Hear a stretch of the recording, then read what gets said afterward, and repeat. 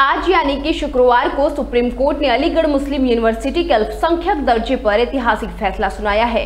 Court ने अपने पुराने उन्नीस सौ सड़सठ के फैसले को पलटते हुए इस मुद्दे को एक नई तीन सदस्यीय पीठ को सौंप दिया है। इस फैसले से एएमयू के अल्पसंख्यक दर्जे पर पुनः विचार किया जाएगा।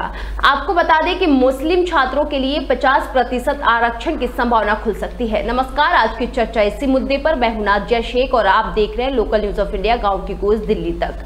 अलीगढ़ अलीगढ़ मुस्लिम यूनिवर्सिटी पर कोर्ट ने बड़ा फैसला सुनाया। फैसला सुनाने के दौरान कोर्ट ने कहा कि अल्पसंख्यकों के ज़रिए यूनिवर्सिटी की स्थापना काफ़ी नहीं है। सुप्रीम कोर्ट ने अपने फैसले में याचिकाकर्ताओं की बात को खारिज कर दिया। कोर्ट ने कहा कि एएमयू को अल्पसंख्यक संस्थान नहीं माना जा सकता, क्योंकि इसकी स्थापना मुस्लिम समुदाय ने नहीं, बल्कि ब्रिटिश सरकार के एक कानून से हुई थी। अदालत के मुताबिक अनुच्छेद 30 का संरक्षण केवल उन संस्थाओं को मिलता है जो अल्पसंख्यक समुदाय द्वारा सीधे तौर पर बनाए गए हो, न कि सरकार के कानून से।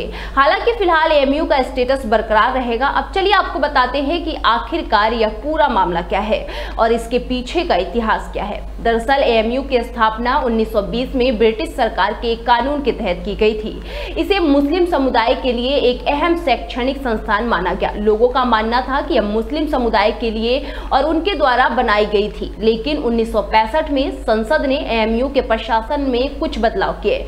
जिससे यह चिंता बढ़ गई कि यूनिवर्सिटी की अल्पसंख्यक पहचान खतरे में है। सुप्रीम कोर्ट के सामने मुख्य सवाल यह था कि क्या एएमयू को अल्पसंख्यक संस्थान माना जा सकता है? डॉक्टर अज़ीज़ बादशाह और दूसरे याचिकाकर्ताओं का कहना था कि एएमयू का उद्देश्य मुस्लिम समुदाय की शैक्षिक और सांस्कृतिक उन्नति है। इसलिए इसे अल्पसंख्यक दर्जा मिलना चाहिए। उन्होंने कहा कि सरकार के हस्तक्षेप से उनके संवैधानिक अधिकारों का हनन हो रहा है। बता दें कि उन्नीस सौ सड़सठ में भारत के सुप्रीम कोर्ट ने अज़ीज़ बादशाह मामले में एक महत्वपूर्ण फैसला सुनाया, जो अल्पसंख्यक अधिकारों और संविधान से जुड़ा था। इस मामले में सवाल यह था कि क्या अलीगढ़ मुस्लिम यूनिवर्सिटी को अल्पसंख्यक संस्थान का दर्जा दिया जा सकता है? संविधान के अनुच्छेद 30 के मुताबिक अल्पसंख्यकों को अपने शैक्षणिक संस्थान बनाने और चलाने का अधिकार है। ये तो थी इतिहास की बात। अब रुक करते हैं उस पहलू की ओर, जो सबसे ज़्यादा महत्वपूर्ण है कि आखिरकार एएमयू का अल्पसंख्यक दर्जा क्यों महत्वपूर्ण है? और इससे शिक्षा में क्या बदलाव आ सकता है? आइए विस्तार से जानते हैं। अलीगढ़ मुस्लिम विश्वविद्यालय को हाल ही में मिला अल्पसंख्यक दर्जा। देश में शिक्षा के क्षेत्र में एक बड़ा बदलाव ला सकता है। इस दर्जे के तहत विश्वविद्यालय को अल्पसंख्यक समुदायों के छात्रों के लिए विशेष शैक्षिक अवसर और प्रवेश में आरक्षण देने की अनुमति मिलेगी।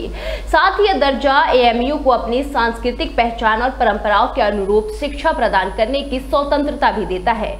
आपको बता दें कि एएमयू का अल्पसंख्यक दर्जा उस अल्पसंख्यक समुदाय के छात्रों के लिए उच्च शिक्षा में अधिक अवसर प्रदान करने में मदद करेगा।